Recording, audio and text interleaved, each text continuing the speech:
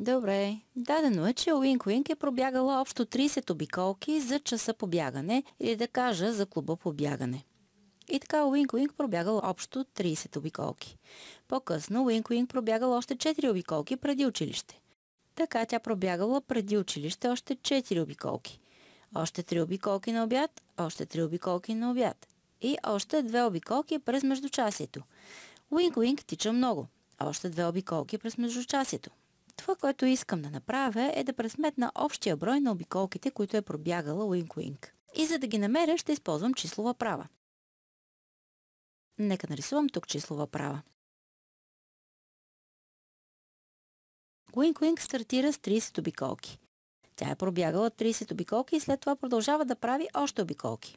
Значи моята числова права бих могла да започна от произволно число, но е подходящо да я започна от 30. И очевидно може да започна от 29, да премина към 30 и фактически просто да продължа от там нататък.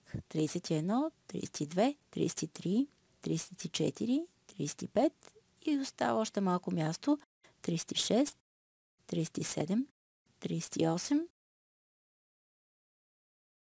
39 и нека кажем 40. И мога да стигна чак до 41. Толкова място имам. И така нека помислим. Уинк Уинк започва с 30 обиколки. Значи започва с 30 обиколки за клуба по обягане. След това тя пробягва още 4 обиколки преди училище. Ако на числовата права прибавя още 4, трябва да се предвижа надясно. Ще увелича с 4. И така увеличавам с 1, 2, 3, 4. Значи с тези 4 обиколки преди училище прескачаме от 30 на 34. После тя пробягва още 3 обиколки на обяд. Следователно след 34 тя прави 1, 2, 3 обиколки до 37. Тя стига до 37. Така отбелязахме тези 3 обиколки на обяд. И после още 2 обиколки през междучасието. Тоест тя е направила 37 и сега прибавяме още 1, 2 и стигаме до 39. Колко обиколки общо е направила Уинк Уинк? Добре, Уинк Уинк е пробягала общо 39 обиколки. 39 обиколки и ние ги пресметнахме с помощта на числовата права. Сега да направим едно подобно упражнение, каквото може да срещнеш в Кан Академията.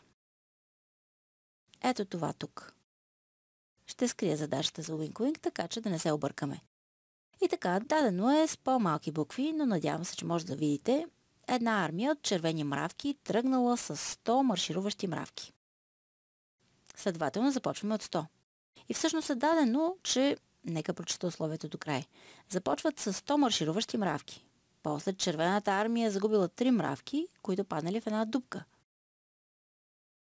Така че изчезнали 3 мравки в една дупка. Три мравки били изядени от една птица. За нещастие. И една мравка била отвята от вятъра. Считам, че мравките са доста леки създания и това е напълно възможно. Коя от числовите прави показва как да намерим с колко мравки е останала червената армия? Добре, армията е започнала с 100 маршируващи мравки. Подчертаваме това, ето защо трябва да започнем от 100. Тази права започва с 10. Следователно веднага я изключвам. И бихме могли да изберем друга права, но нека все пак се уверим, че е вярна. Значи започваме от 100 и след това губим 3 мравки в една дупка. Следователно трябва да намаляваме. Запомни, губим мравки, значи трябва да се движим наляво по числовата права. Придвижваме се към по-малки стойности. Намаляваме 1, 2, 3. Това са трите мравки паднали в дупката. След това имаме 3 изядени от птица, т.е. изгубили сме още 3 мравки. Това са тези 3 тук. Стигаме до 94 останали мравки. И после имаме още една мравка от вята надалеч. Това намалява до 93 останалите мравки. Следователно червената армия или армията на червените мравки е останала с 93 мравки. Останали са 93 мравки. Готови сме.